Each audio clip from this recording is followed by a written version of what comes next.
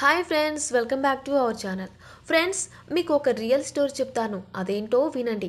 ఈ వీడియోని చివరి దాకా చూడండి. శివుడు చేసిన ఒక అద్భుతం గురించి మీతో చెప్పడానికి మీ ముందుకు వచ్చేసాను. అదేంటో చూడండి.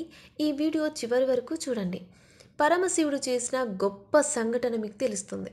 ఒక ఊర్లో ఒక చిన్న కుటుంబం ఉండేది. ఆ ఇంట్లో ఒక అమ్మాయి ఉండేది. ఆమె పేరు రేఖ.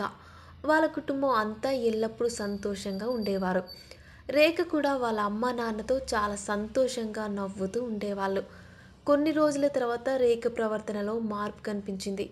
వాళ్ళ నాన్నకి రేఖ కొత్త కొత్తగా ప్రవర్తిస్తుంది. చిన్న చిన్న విషయాలకే కోపడుతుంది. ఒంటరిగా ఉంటుంది. ఎవరితోనూ సరిగ్గా మాట్లాడడం లేదు. ఈమె ప్రవర్తన చూసి తల్లిదండ్రులు ఇద్దరు చాలా బాధపడుతూ ఉన్నారు. వారికి ఏం చేయాలో అర్థం కాని పరిస్థితులు ఉన్నారు.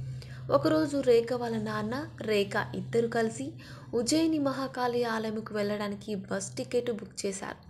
బస్సులో వెళ్తుండగా రేఖ ఒక్కసారిగా అరవడం మొదలుపెట్టింది.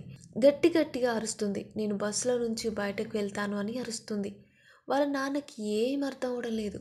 వాళ్ళ నాన్నకి ఏమనిపిస్తుందంటే రేఖ ఒక శరీరంలో వేరే ఆత్మ ఉంది. అందుకే ఇలా ప్రవర్తిస్తుంది అనుకున్నాడు. బస్సులో ఉన్న వారందరూ రేఖని బస్సు దిగకుండా ఆపుతున్నారు కానీ రేఖ వారందరిని నెట్టేసి బస్సులో నుంచి దిగిపోయింది. రోడ్డు మీద పరిగెడుతూ ఉంది రేఖ. రేఖ వెనకాల తన తండ్రి కూడా పరిగెత్తడం మొదలుపెట్టాడు.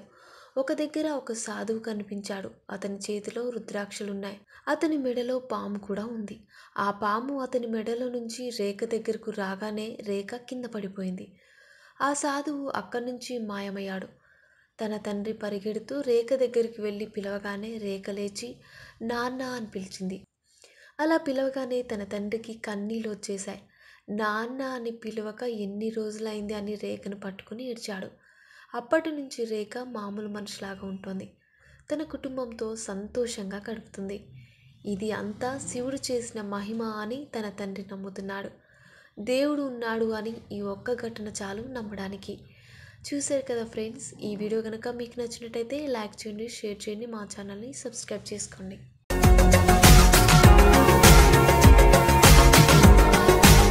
మరిన్ని అప్డేట్స్ కోసం మా ఛానల్ని సబ్స్క్రైబ్ చేయండి.